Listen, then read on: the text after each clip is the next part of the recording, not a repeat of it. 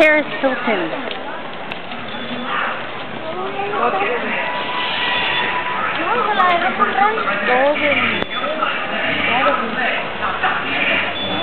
So anyways, I thought it was kind of cool.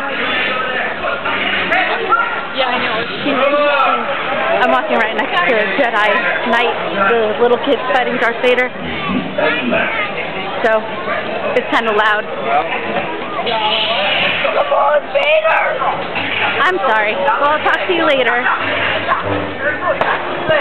Nope.